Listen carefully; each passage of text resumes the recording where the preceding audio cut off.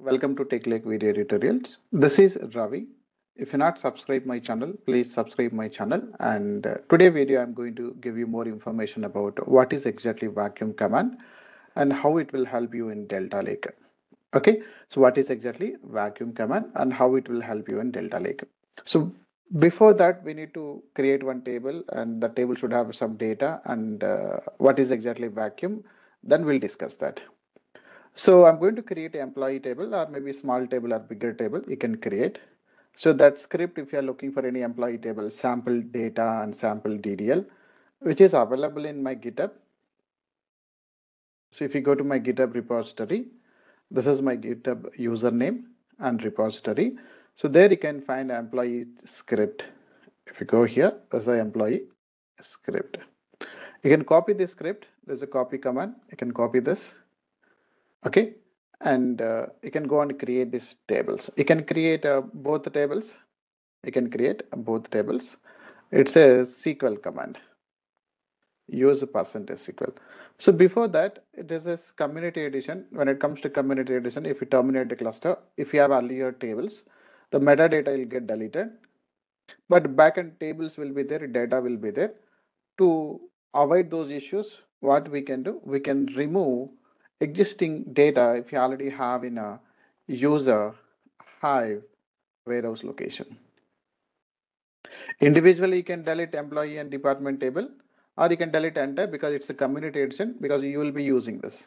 But don't apply this in real time because your production environment or development environment, by mistake, if you delete this, recursively it will delete every table if you go with the warehouse. Okay, so just I gave only one table employee table. Similarly, I gave another table department table. So don't try in a development environment or production environment with a warehouse location because rm minus r recursively it is going to remove all the folders subfolders. So be careful about this. But community edition it's okay because you'll be using that. Backend if you have a data we are deleting that.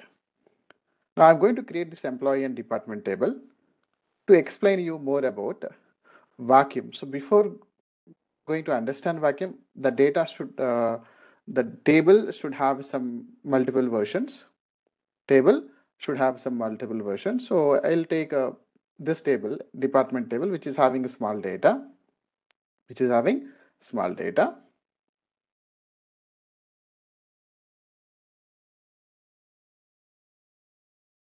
And after that, even we can uh, go go with audit history which you can verify audit history using. Uh, describe history. Describe history table name. So that will give you how many versions are there. How many versions are there. So just wait a few seconds. Still the table is creation in progress. And whenever you insert a record right? So every record it will insert a new version. So that i'll show you that so this table will have only four records, only four records. And whenever you, whenever you go with the describe history, table creation and data insertion. So here we created a separate table. Here DDL, the first you see this, create table, it's a delta, delta type, and we inserted data.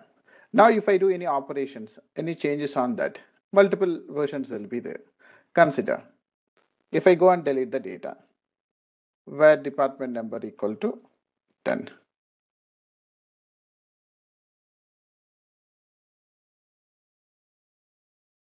So this data I'm going to delete from this table.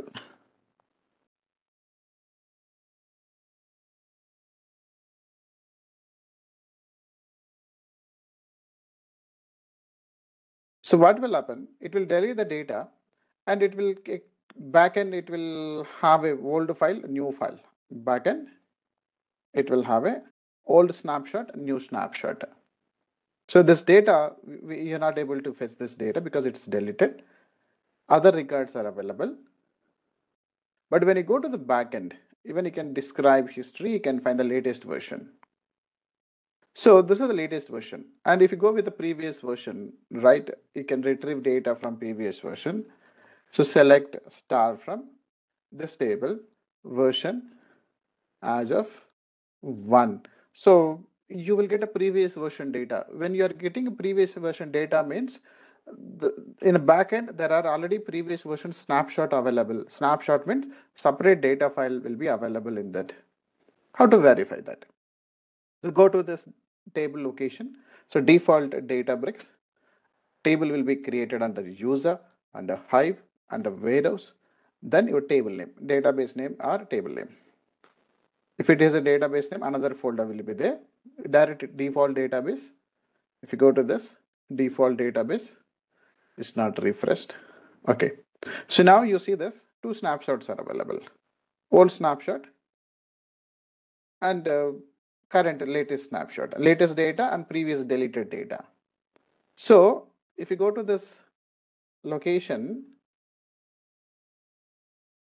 you can find a JSON log file. So you see these two versions, total three versions. Initially metadata will be there.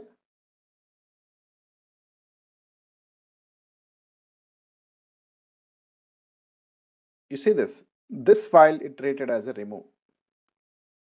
Okay, this file, whenever you delete right, it will treat that, that file as a remove and it will create a new file. It will create a new file okay? And uh, which file it is removed that statistics also you can find this. So remove. This is a logical remove this one. Okay? Then uh, remaining three records it's created another.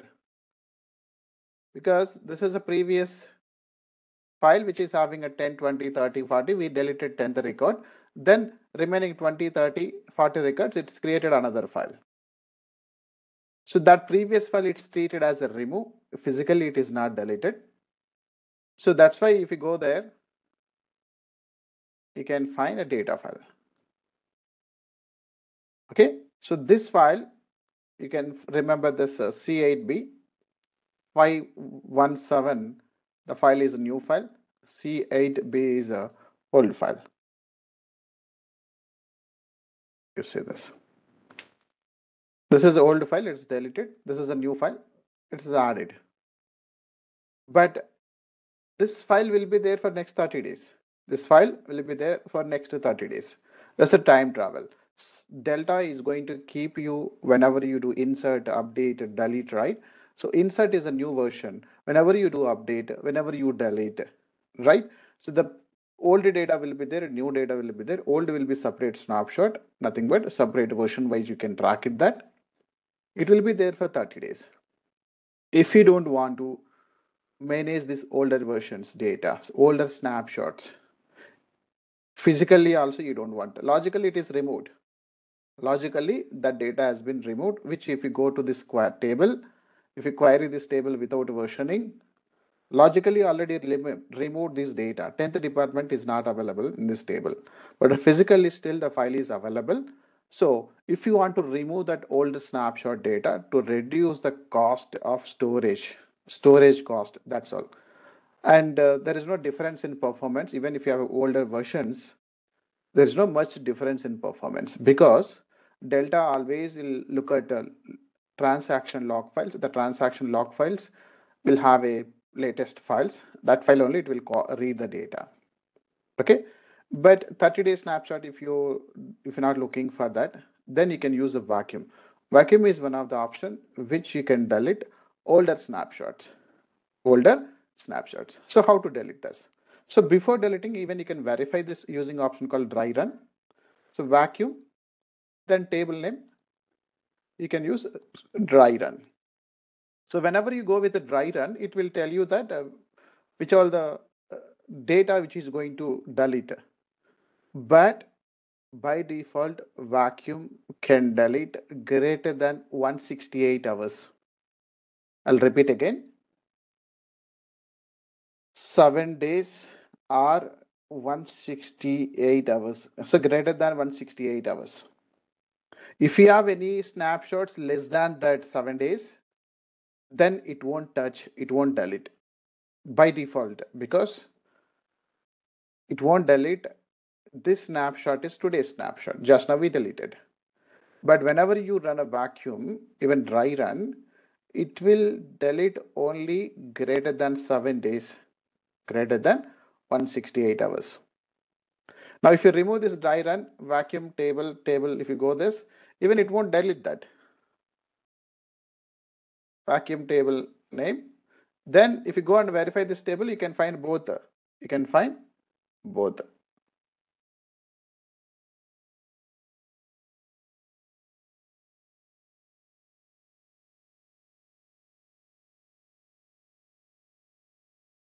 So still it is running in. So whenever you run a vacuum, by default, it won't raise any exceptions, but it will delete only greater than seven days snapshots. If you have any snapshot which is less than seven days or less than 168 hours, it won't delete. So now go and see this. So two files are available. It's not deleted. You can refresh it again. So both are available. Now there is another option. If you want to remove less than uh, seven days, so you can use one option called retain hours number of hours. Consider retain one hour or retain zero hours. Okay, retain zero hours means you don't want any older snapshots. You don't want any older snapshots. But by default, this will be disabled. So you cannot vacuum or you can say you cannot delete less than seven days snapshots. That is default disable. So means you cannot delete. So there is a parameter called spark.databricks.delta.retention duration check. This is enabled. Okay? If this is enabled retention duration check default is 168 hours. So you cannot delete less than 168 hours.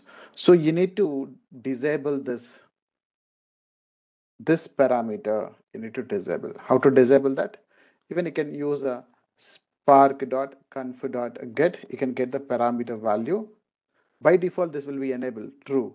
Go and set this. Go and set as false. So retention duration check is enabled. I am disabled now. Now, whenever I go with a purging or you can say removing older snapshots, it won't validate less than 168 hours. Just it will go and purge old snapshots. Only it will remove data, old snapshots data, not latest data. Okay, in these two files, one is an old snapshot, another one is a new snapshot, latest data. So latest data means like 10, 20, sorry, 10, not 10, 20, 30, 40. Now go and verify once this is done. Out of these two files, it should remove one file, it should keep one file because that's the latest data. So whatever we deleted older version, that it should delete. Let's run it. It's waiting. Now you see one file, it is deleted. Okay, now if you go and describe history, describe history means audit log will be there. It won't purge audit log. See, audit log still it is available. But when you try to fetch previous version 1, it will raise exception. When you try to fetch, select star from department version as of 1. So version as of 1 does not available. The data file is not available. It will raise exception. The data file we already purged. You will get exception saying that file not found exception. It is not original issue, but we purge that older snapshots. Latest data is available. So only the reason here it is they're not deleting metadata, they are deleting only data. So metadata means transaction log. So this is about. So vacuum by default, it can it can delete greater than 168 hours. If you want to delete less than 168 hours, okay? Then you need to disable retention duration check. Once you disable then you can use the retain option to remove to remove less than 168 hours data. But this is not suggested in production environments. When live transactions are happening don't go with a zero hours. Okay? Don't go with a zero hours. Because same time if multiple transactions are going on even it can remove latest snapshots instead of removing older snapshots because if multiple transactions are happening this vacuum can purge even latest transaction because still it is in progress state, right? So it is not suggest to go with the zero hours. Just I have explained how to purge because I have only recent transaction data. But don't go with the zero hours. Keep at least uh, two or three days data. Okay, so this is about vacuum in Delta Lake. Next station will understand a restore. If by mistake, if you delete, uh, if you delete any data by mistake, if you update updated data, if you want to restore previous transaction, how to restore that, that we will see in next video. This is about Delta Lake vacuum, Delta Lake vacuum. If you go to the Google Delta cheat sheet is available, is a, it, it's a PDF available, okay, which you can find both uh, with the Python, with the SQL commands. Both are available.